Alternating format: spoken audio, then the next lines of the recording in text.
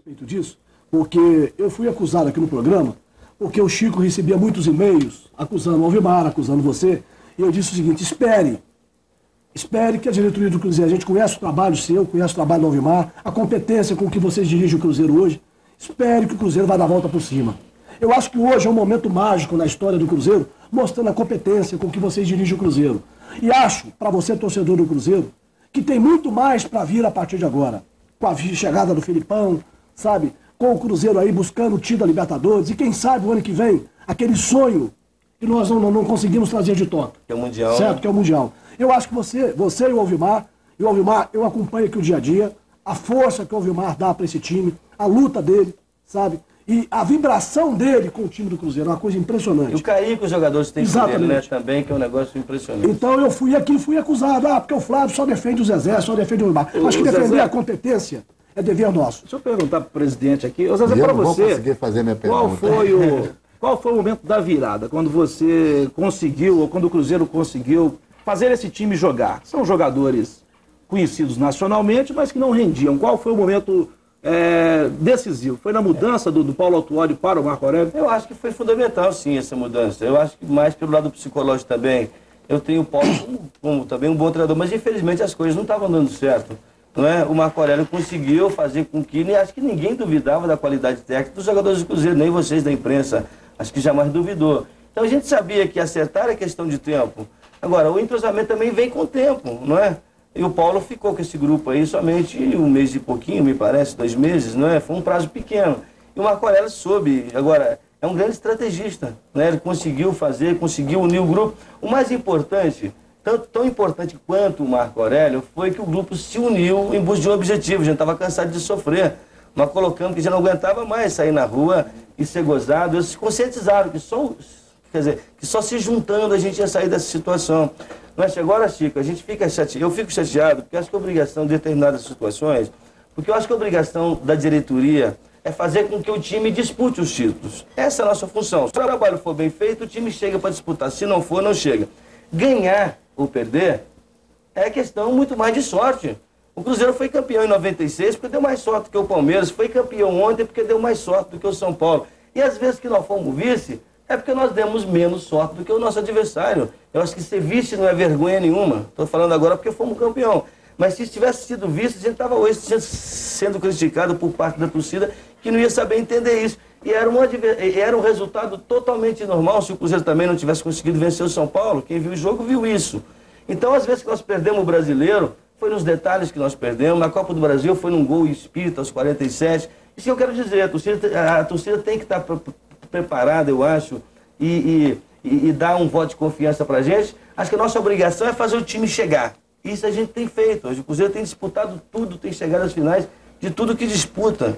Não estou puxando esse mérito para mim, não. O Cruzeiro tem uma grande estrutura e a gente não dirige sozinho, não é? Mas é para o torcedor entender que se a gente conseguir, o Cruzeiro esse ano chegou em tudo que disputou, poxa. E fomos, e fomos muito criticados, a ponto de, não estou fazendo acusações à imprensa nem nada, mas o Atlético, eu vi a, a parte da imprensa dizendo que o Atlético ia entrar para a história. Os jogadores iam entrar para a história chegando em quarto lugar, porque nunca tinham conseguido. Eles estavam valorizando do em quarto lugar e nós teríamos sido criticados se tivesse ficado em segundo. Então eu estou aproveitando o momento da vitória para o torcedor cruzeirense fazer esse tipo de reflexão. Que a nossa obrigação é disputar os títulos. Vencer, eu diria que é muito mais por, um- por uma questão de sorte. Mas dessa, dessa conquista, principalmente de 2000, não pode ser considerado só sorte, pode ser considerado o trabalho de uma equipe que chegou invicta. Não, eu Quer quero dizer, o te respeito ao que foi Porque eu quero te feito, né? dizer que o trabalho, o trabalho bem feito da diretoria, ou do treinador, ou dos jogadores, consiste em levar o time à disputa, ao jogo final. Jogo final é nervosismo puro. É, É, muito mesmo- mais até- detalhes, é isso que eu quero dizer. e o Até mesmo tem esse valor. trabalho todo que foi feito lá, Né? É se aquela bola do Axel não é atrasada ali, Se o André não faz aquela defesa milagrosa, o título hoje era do São Paulo, aí eu pergunto, será que o nosso time era ruim? é aquela defesa do André. Quer fazer uma pergunta? Essa é reflexão que eu queria que a nossa torcida fizesse, e que as torcidas, de um modo geral. O Henrique Portugal. Não, eu vou dizer uma coisa. Hoje eu estou aqui de, de cruzeirense, numa posição totalmente privilegiada. Eu vim aqui para também para dar os, festa, é, né? participei da festa para dar os parabéns para o Zezé, para toda a turma, toda a equipe do Cruzeiro, que realmente o jogo ontem foi maravilhoso, foi muito emocionante. Eu acho que Inclusive, eu acho que foi mais emocionante do que a final da Libertadores, eu acho. Coisa- pela, pela, circunstância. circunstância, Pela circunstância. eu sinceramente não esperava ganhar o título. É. Faltam 10 minutos para acabar o jogo, já perdi o jogo. Eu tenho a impressão que a torcida, Eu queria te perguntar desse isso também. vice-campeonato, a Que- torcida ficaria satisfeita, Chico?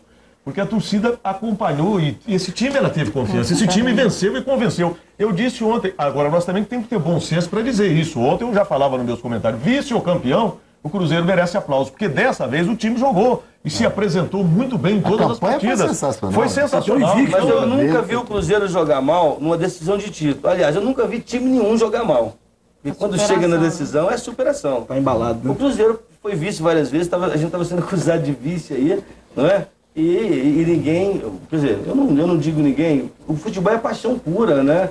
Essa reflexão acho que tem que se fazer. Nós não podemos tirar o mérito do atleta ter sido vice-campeão brasileiro, não podemos de jeito nenhum. É, Zezé. Então, o vi- o vice no Brasil é, serve para gozação, infelizmente. Eu gostaria de Medalha de prata serve para gozação. Você tocou nesse assunto aí, quando o Cruzeiro levou o gol naquele momento do jogo, no segundo tempo, é, o que é que veio à sua cabeça, Zezé? Porque eu fico imaginando a cabeça do comandante, quando, por exemplo, ali o título, muita gente pensou que o título estaria perdido.